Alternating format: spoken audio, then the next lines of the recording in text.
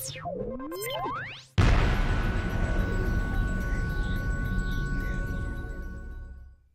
Hi everyone, this is Aaron for Zollotech, and I'm going to walk you through some of the basics of using a Nexus 7 tablet. This is the latest version of the Nexus 7. It's very thin, as you can see, really nice. It's got a black back, and it's really a very nice device to use.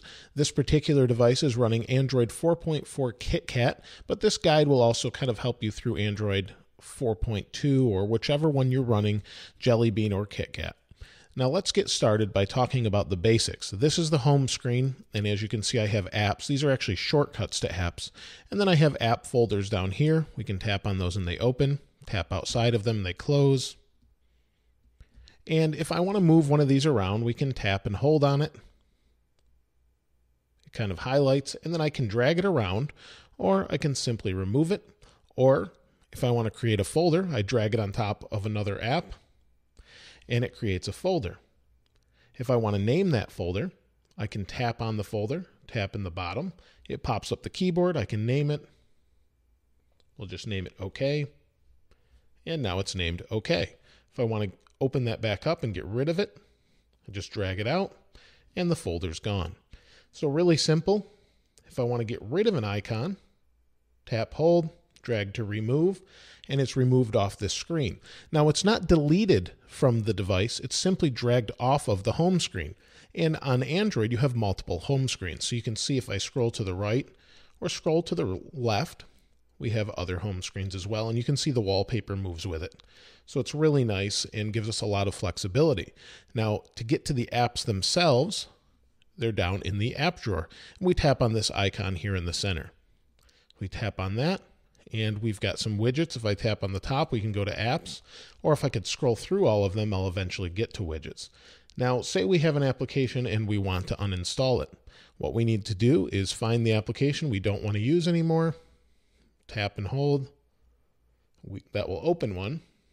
I meant to actually tap and hold on that. So we'll go back, tap hold, and it brings, gives us a couple options. We can drag it to the home screen, just by holding on it. And you can see they're outlined. I can drag it to either of the home screens, any of them. I can drag it to the right, drag it to the left, and then place it here. And you can kind of see its silhouette or outline in the background. I can get app info by dragging it up to the app info, or I can drag it to uninstall and uninstall it. And it'll say, do you want to uninstall this app? In this case, I'll just hit cancel. But if you want to get rid of it, that's how you get rid of it. Now, one of the other things you need to know is we have widgets on Android. And widgets are app information that updates by itself. So in this case, this is the weather app. If I tap and hold on this one, this is a widget, and you can see I can drag it around just like on any other app. But if I drag and leave it on the desktop there, I'll say I want it to use my location. I'll hit OK, and you can see it's loading. It'll take a second. It's got my information, and now it's on my home screen, and here's the weather. Now if I tap and hold on it again, I can remove it or let go of it. And sometimes you'll get the option to resize it. In this case, we don't have that option.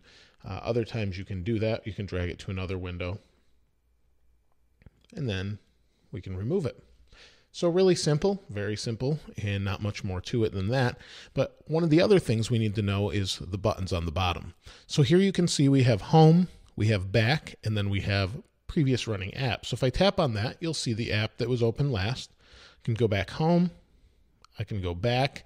If I'm in an application, I'll hit back. It'll bring me back to the last screen. Now, the home button, if we tap and hold the home button, we have this little circle that appears, and that's called Google Now.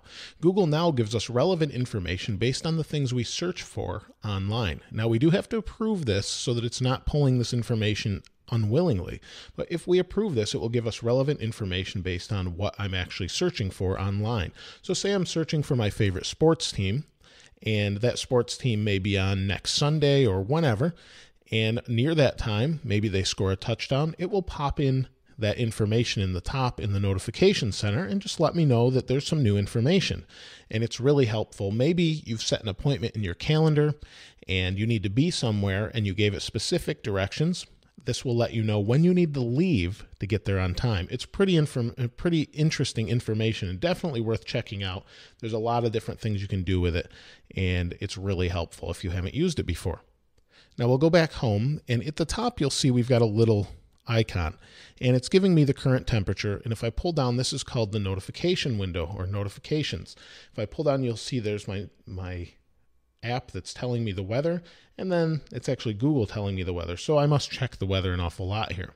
Now to clear these I can simply hit this button here and it will clear those notifications and this will let me know about emails or messages that have come in. It's really very handy. Now if i pull down on this side i get notifications. If i pull down on this side i get different settings and quick access to brightness and, and wi-fi and things like that. So it's really very useful and you can do that too with uh, two fingers if you're on a regular android phone so it's really nice we can go to settings we can hit back brings us back to the home screen and it's really very, very nice.